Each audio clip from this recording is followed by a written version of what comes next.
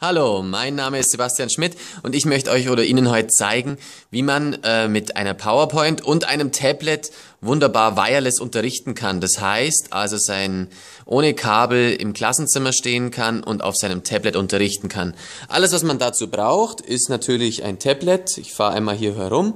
Man sieht, dass kein Kabel dran ist. Ich habe hier das Surface 3 Pro und dann braucht man einen Beamer, der einen HDMI-Anschluss hat. An diesen HDMI-Anschluss schließt man dann einen sogenannten Dongle an. Ich habe mir jetzt den Dongle von CloudNet Go geleistet. Das hat mir der Kurt Söser aus Österreich empfohlen. Eine hervorragende Homepage führt er übrigens zu diesem Thema.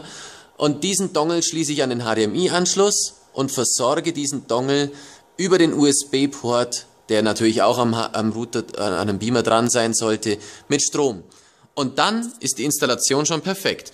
Man sieht hier auf dem Bildschirm das Display dieses Dongles. Alles, was ich jetzt machen muss, ist meinen Tablet mit diesem Dongle zu verbinden. Und das funktioniert bei Windows Tablets oder bei Microsoft Tablets folgendermaßen. Man geht auf Geräte, auf Projizieren. Nun wird diese Anzeige gesucht. Der CloudNet Dongle wird erkannt und der Bildschirm wird verbunden. Nun habe ich quasi diese PowerPoint-Präsentation, die ich auf dem Beamer habe oder auf dem Tablet habe, auch auf dem Beamer. Eine besonders tolle Möglichkeit kommt hier noch dazu. Wenn ich die Bildschirmpräsentation starte, kann ich die Referentenansicht verwenden.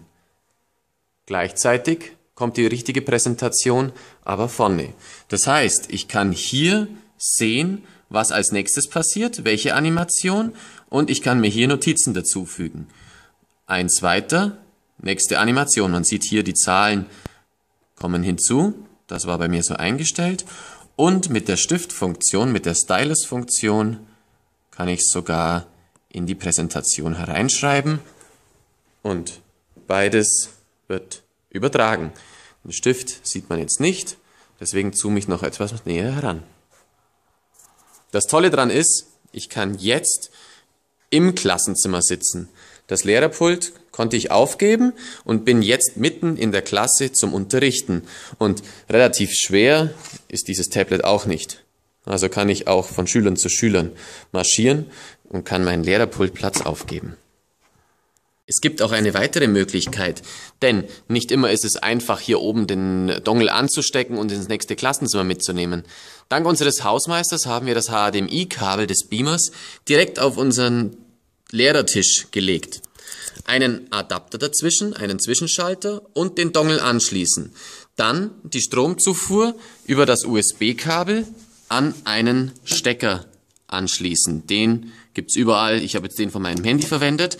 Und so haben wir quasi den Anschluss direkt am Pult, was natürlich dann auch Schüler übernehmen können, beziehungsweise äh, man ziemlich schnell zu Unterrichtsbeginn auch umstecken kann. Und dann funktioniert das gleiche wieder.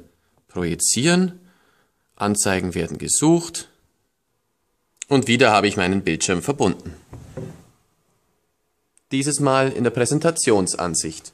Natürlich kann ich auch hier auf meine Geräte gehen, auf Projizieren, auf Duplizieren. Dann ist der Bildschirm nicht erweitert, sondern ich habe genau das gleiche Bild am Tablet wie am Beamer. Das war's. Ich hoffe, ich konnte Ihnen ein bisschen zeigen, wie man mit einem Tablet tatsächlich eine Tafel ersetzen kann und das WLAN. In meinen Augen ersetzt das auch eine äh, hochauflösende Tafel vorne, an dem er ja sich wieder nur mit dem Rücken zu den Schülern befindet.